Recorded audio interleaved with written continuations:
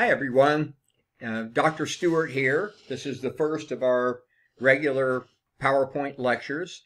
Um, you can find this Anatomy and Physiology 1 Introduction to is the, the first of the lectures on your Canvas site.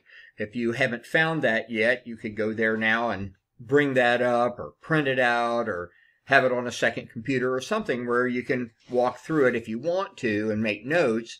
Otherwise, I'll be showing you the PowerPoint here as I talk. The anatomy and physiology courses um, start off briefly with A&P 1 talking about the uh, combining of uh, chemicals, molecules into larger and larger proteins and, and substances of that nature that will combine to form cells, which is our smallest true living unit that we have we combine the cells into tissues because if you have a whole group of cells that's very has a similar um, job to do, you form a tissue without that out of that, like muscle tissue. You form uh, take several tissues and you can make a, an organ. Like here's a here is a, a blood vessel and it's got a connective tissue around the outside. It's got some muscle tissue in there. It has endothelial tissue on the inside. And so you're combining uh, a few different tissues to form a single useful structure, like a blood vessel or, or the heart. And then if you combine several organs, you have an organ system. And so once we get through that, from then on, these courses are going to be system related. We'll do the cardiovascular system and we'll do the digestive system and the reproductive system and so forth. Systems then will all work together to form the entire organism. For instance, the cardiovascular system is a closed system where the heart pumps blood out and it comes back. But the blood, while it's moving, interacts with the lungs that put oxygen into the blood with the digestive system that puts nutrients into the blood, and it releases waste products into the excretory system. So the systems will interact to allow the entire organism to live. A&P1 is the basics of cells and, and tissue function and how they work and how they turn each other on to do their jobs. And then the systems we'll cover will be the integumentary system, which is the skin. Whoops, where's my cursor? There it is. integumentary system is the skin. We'll have the bones, muscles, and nerves. The skeletal system, the muscular system, and on the next slide over here we have the nervous system. So those are the the um, systems that will be covered in A&P1. A&P2 covers everything else. So you're going to have the reproductive systems, the endocrine system, cardiovascular system, lymphatic, respiratory, digestive systems, the urinary system, and the kidneys and the bladder, and all of that sort of thing. Reproductive here. So um, there, A&P2 covers a lot of lot of ground. Now, one thing about um, your bodies and the way they function and how these systems all work to regulate themselves is a desire of your body always to maintain homeostasis. Homeostasis is where everything is as neutral and natural it can be. No energy is being wasted. Your temperature is not too high, it's not too low. Your blood pressure is not too high, it's not too low. It's you're trying to keep it exactly where it needs to be. All of these different systems at the same time. So what we have are a number of of, of setup, you know, systems within systems that if your blood pressure goes up, you get signals it relaxes your blood vessels and slows your heart and your blood pressure goes back down. If your temperature goes up, you get signals and it causes you to sweat and the temperature goes back down. So what we're trying to do is maintain the steady state of homeostasis. This is done what, with what is called negative feedback loops. If your blood pressure gets too high, you got to bring it back down. And then the act of bringing it back down turns it off. That's the negative feedback. Once your blood pressure gets to normal, you turn that regulatory mechanism off so it doesn't go too low. If your temperature goes up too high, you only sweat long enough to bring it down to where it's supposed to be, and then it turns itself off. So it has negative feedback. The desired result turns that system, that regulatory system, off we have a small number in our uh, bodies of positive feedback loops. That is, when something happens, the stimulation makes it happen more instead of less. This is to achieve things like endpoints. You know, if your blood pressure goes up, you don't want it to keep going up and up and up until you explode.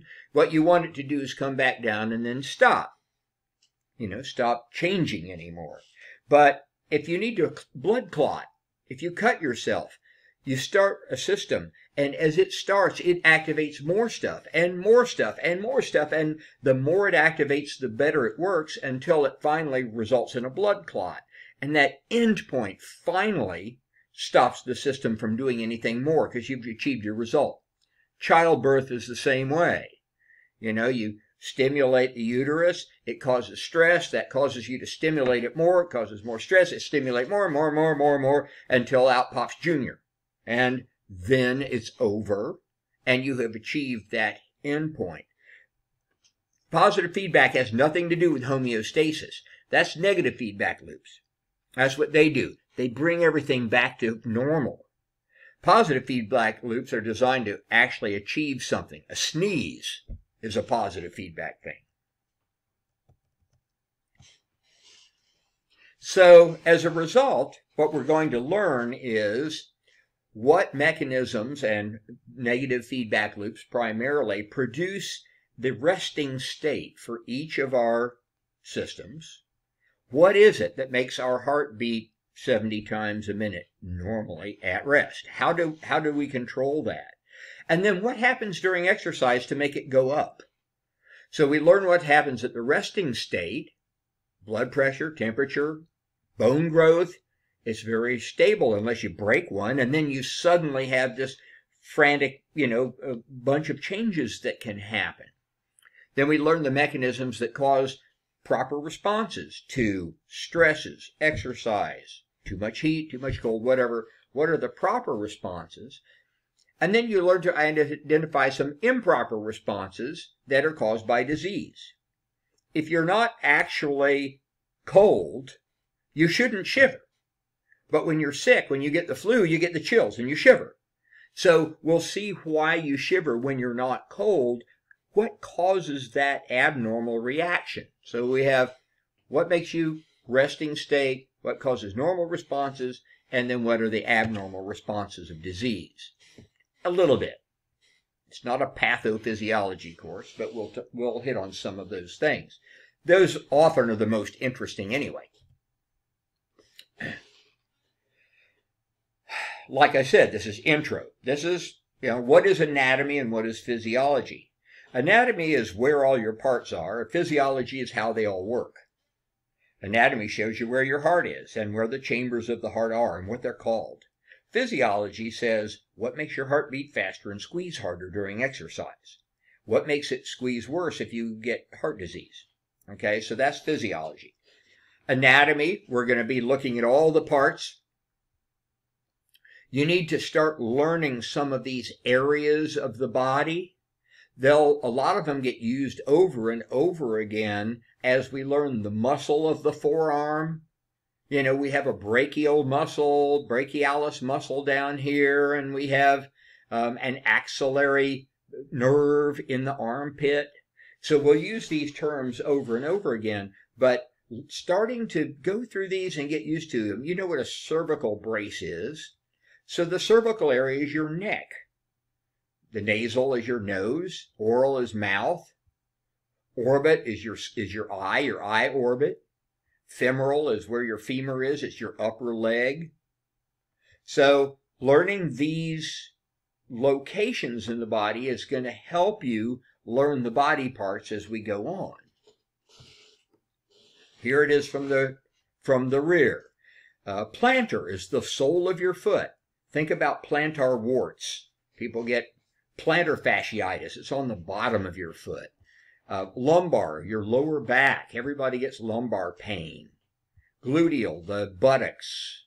Femoral on the uh, here is from the thigh. So start learning these. You're not going to be in your first test tested on a whole bunch of these these locations, but maybe a few of the main ones, and certainly you'll need to know them as the course goes on. You also need to learn how in medicine, in an anatomy, we talk about directions. You don't say something is up or down or sideways. If something is higher than something else that is superior, your head is superior to your trunk. Your trunk is superior to your hips. Your trunk is inferior to your head. Down is inferior, up is superior. Anterior is in the front. My face is anterior to my head. Okay, my buttocks are posterior to my pelvis. So anterior is in the front, posterior is in the back. Medial means toward the middle. My heart is medial to the lungs. The lungs are lateral to the heart. Medial toward the medium center, lateral toward the outside. Superior, inferior, medial, lateral, anterior, posterior. There's lateral. Intermediate means between its, its two things. Um, you might overhear somewhere, you might have a, a spot on your cheek that is it's between two other things. And so you say it's intermediate to those. It's not, it may be medial to one and lateral to the other, but it's intermediate between them. Here's one that's important proximal and distal. Proximal means closer to your body center, closer to the point of attachment of that part to your body, closer to the middle, proximal.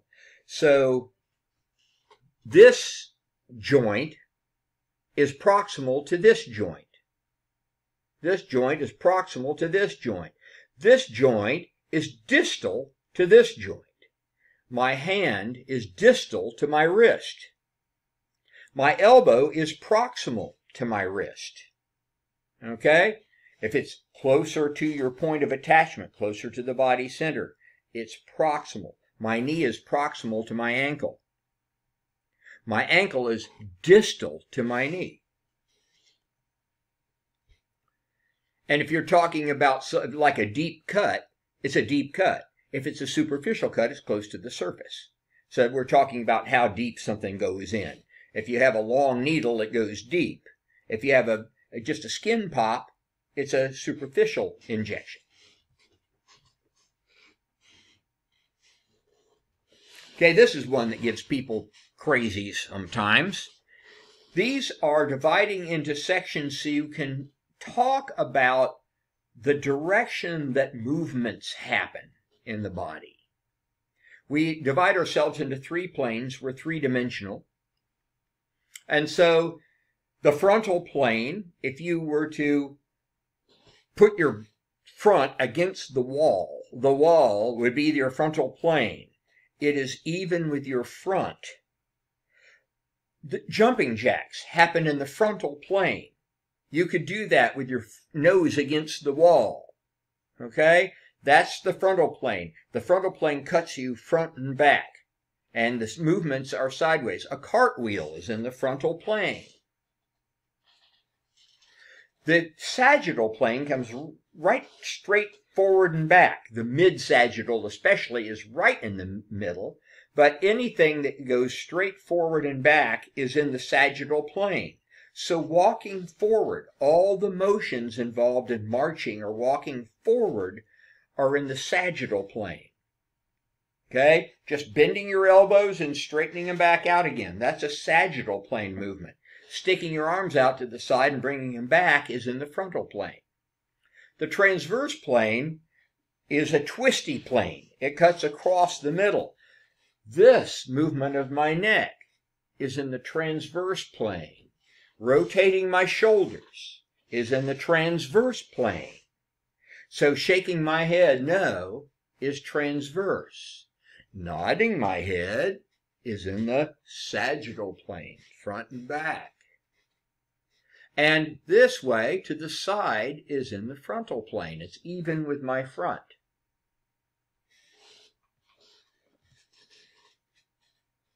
So you'll have to learn all these movements. That's okay. We have a whole semester to use them over and over and over and over again. But it's important because when you learn the muscles, you have to learn what they do. The biceps cause you to bend your elbow. Well, that happens in the sagittal plane. That's called elbow flexion. You're bending your elbow. That's in the sagittal plane because it's going front and back. Now see if I can get back far enough to do this. The uh, when you're starting, uh, you start out what's called the anatomical position. The anatomical position, you're standing, um, standing, you know, your feet about shoulder wide, your palms are forward and at your side. So anything that I move from here, I can move forward and backward elbow flexion, elbow extension, elbow flexion, elbow extension, hip flexion, hip extension, shoulder flexion, shoulder extension. Flexion, you're moving away from the anatomical position. Extension, you're moving back. Abduction and adduction are in the frontal plane. They are like jumping jacks. Abduction is moving away from the body. So abduction, think about if you're abducted, you're taken away. You know, somebody takes you away. Abduction moves you away from the body. Adduction adds you back to the body. A Abduction, a deduction. Abduction of the hip moves your leg out to the side. Adduction puts it back. Okay? Your hands abduction, adduction of the fingers. Away, together. Abduction, adduction. While we're here, let's do rotation. Rotation is in the transverse plane. So if I were to do this, if I move my arms like this, I'm rotating them. Okay, I'm rotating the shoulder. I'm rotating my trunk. I'm rotating my neck. Okay, those are, are um, transverse plane motions, rotation. And for instance, rotation of the shoulder is important. When you throw a baseball, you don't bend your elbow like this, you rotate it. And when you rotate your arm, that's that internal shoulder rotation, the rotator cuff muscles do it you know, we'll learn all about that. So you want to know what shoulder rotation is, which is twisty, compared to just do, do, or do, do. Let's also do right now, let's go with, um, oh, hyperflexion and hyperextension. If I flex my elbow, to hyperflex, I would bend it like too far. Okay? Hyperextension of your elbow would straighten it out too far. Okay? It would hurt. Now your hip is better at that. If I want to flex my hip, can I see it? Flex my hip, I extend my hip, I can hyperextend my hip without hurting myself because it moves in that direction. So if I extend all the way back to where I started, I hyperextend if I go farther than that. Same thing, flexion of the neck, extension of the neck, hyperextension of the neck.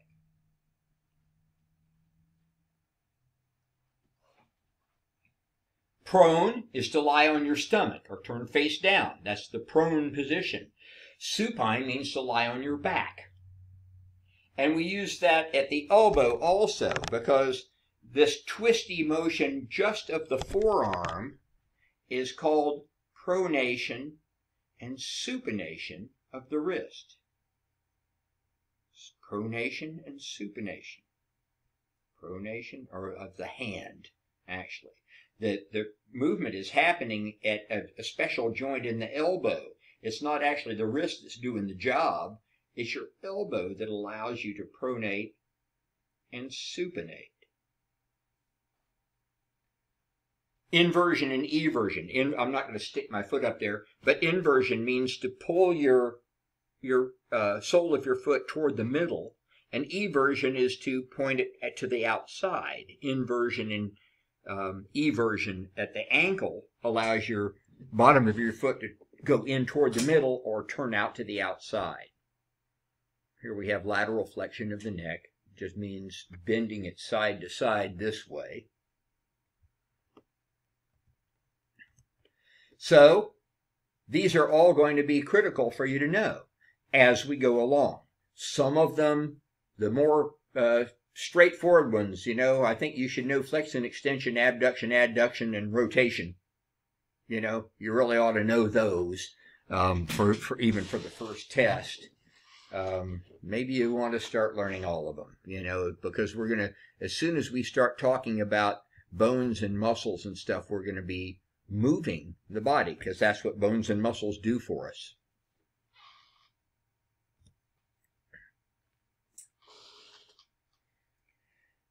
Another basics of uh, anatomy is just the location of stuff. And so for now, we're just going to hit some major body cavities where guts are located. We have the cranial cavity, which is where your brain right resides, assuming you have one. We have the spinal cord is in the vertebral cavity, if you have a spine. okay, enough of that. Enough of that. Uh, the vertebral cavity or the spinal cavity. The thoracic cavity um, is where your lungs and heart are. Abdominal cavity is where all, basically all the rest of your viscera, your in, intestines, your stomach, your liver, your heart, your, I mean, not your heart, your spleen, large and small intestine, uh, you know, all that stuff is in here. The pelvic cavity has the very end of the digestive tract and your reproductive organs and your bladder.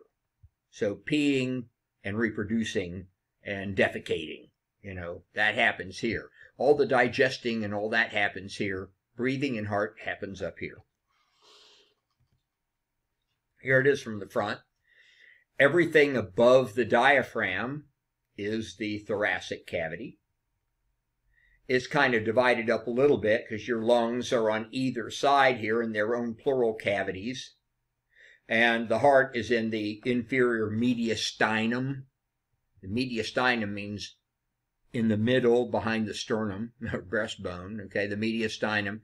The superior mediastinum has your esophagus and your and your windpipe in it. But, you know, the, uh, the most important features of the thorax are the heart and lungs. Then you have the diaphragm, which is your big breathing muscle. Below that, you have your all of your major organs down here. The liver is over here, the stomach is over here, the pancreas and spleen are over here, your kidneys are back here, behind everything else. The uh, small intestine, your large intestine, all that stuff is in here. Then down here you have the bladder right at the very bottom of your pelvis there, and your uterus and ovaries if you're a female. If you're a male, the reproductive organs have dropped down into the scrotum.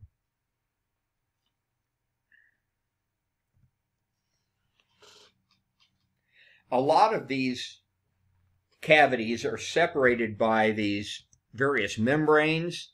Their membranes are between the lungs and the heart, so the heart won't damage the lungs. It's beating all the time, and the lungs are really delicate. So they have to be protected from each other.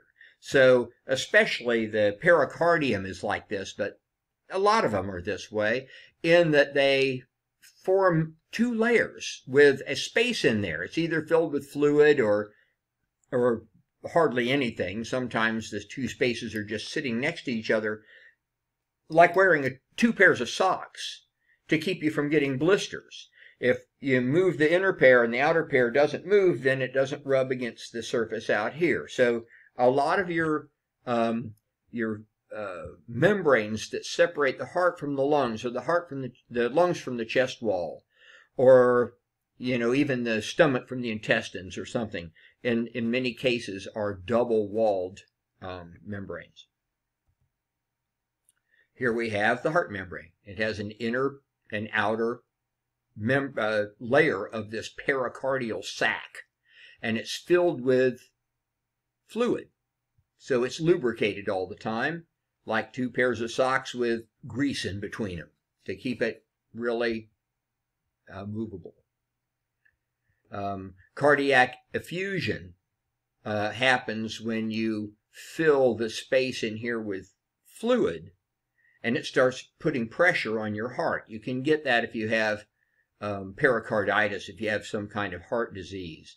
Cardiac tamponade is what happens if you burst a blood vessel or get a hole in the in the heart and this pericardial sac starts filling up with blood and it fills up really big and really strong and it pushes on the heart and it can kill you and so if you look at any of the go to any of the movies or TV shows that are, you know, whether it's Grey's Anatomy or whoever's on these days that has uh, these, uh, you know, doctor shows.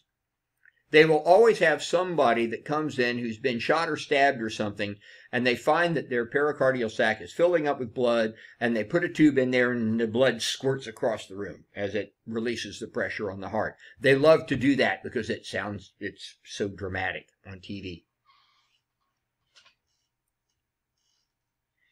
Now here's where your guts of the abdomen lie. We know where the lungs are, and we know where the heart is. Those are all in the thorax. It's above the diaphragm. But in the uh, abdo- abdomen, and especially the abdominopelvic region, which includes everything, you have to say, well, this person has pain over here. You could say, well, it looks like it's kind of in the, uh, you know, part of the intestine or part of the, you know, whatever.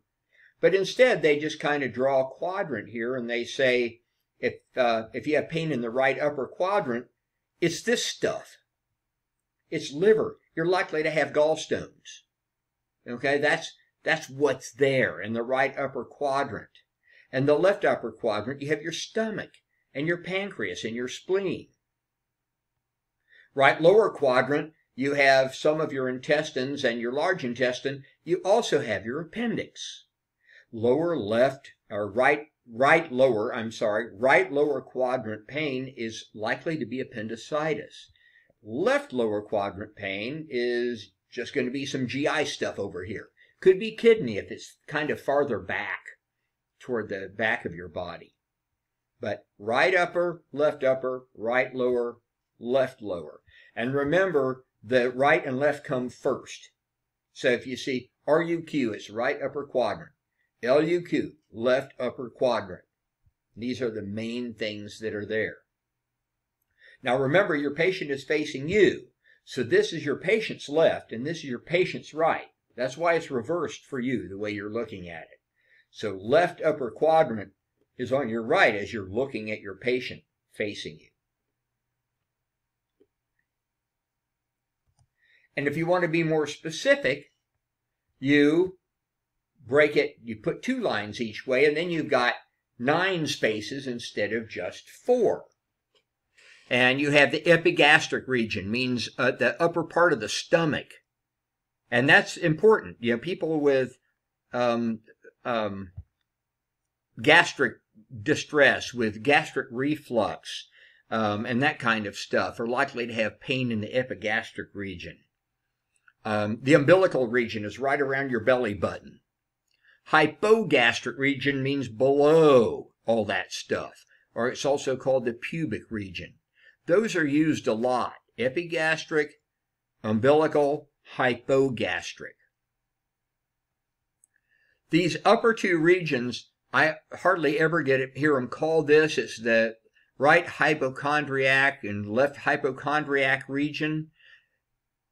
Chondro is the term for ribs.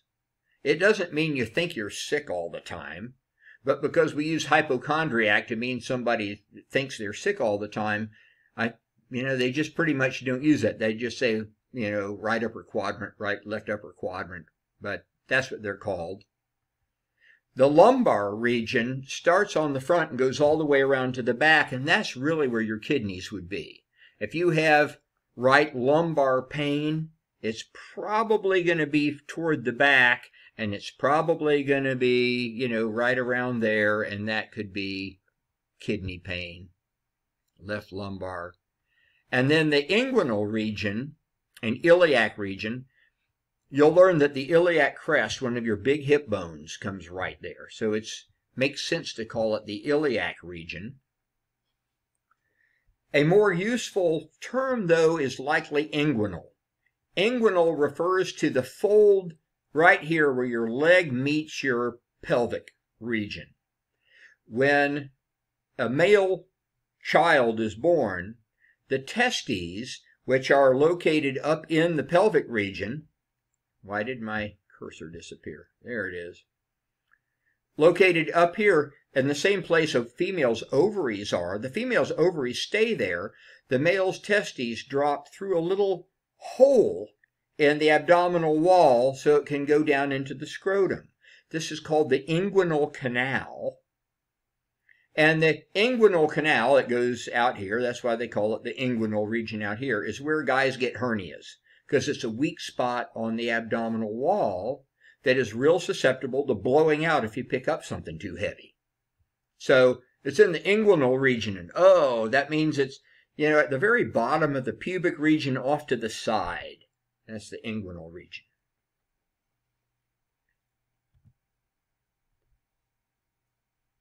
So you can describe, you know, if somebody has bladder pain, you know, it would be in the in the lower uh, pelvic, you know, pelvic region here. Pain over here would be inguinal. If they have appendicitis, it could be in the, uh, you know, right lower quadrant, or it could be, you know, you could talk about it being in the inguinal, the joint between the inguinal and the and the pelvic region. You know, if it's liver pain, if it's gallbladder pain, it's going to be in the right hypochondriac or just the right upper quadrant region. So that's the way you're able to describe what's going on with your patient's abdomen.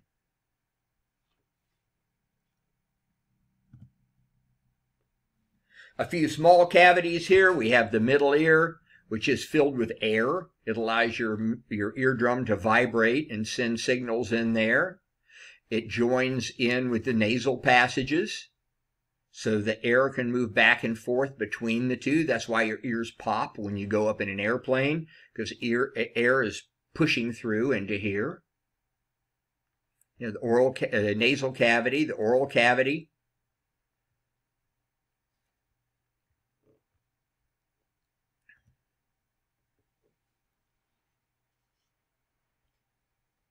Here we have images. This is a, an image taken in the frontal plane where you're looking from the front. You're taking a slice directly side to side and looking at the heart and the arteries of the heart. Whereas this is a transverse slice, like you committed hara-kiri. This is the spinning around, you know, plane. So this is a, a transverse um, CT scan. So if you're looking at a CT scan and it says, well, this is a sagittal view, you know it's from the side, you know, looking at, at, at a slice that goes right this way. And if it's a frontal, it's looking at your front. And if it's transverse, it's looking down from the top or up from the bottom, where you could spin around, like if you put a, an axis right through here, you could spin around on that axis. And that's plenty of stuff for the first lecture. So there will be another lecture coming up later in the week, along with a couple of labs. Good luck to you all.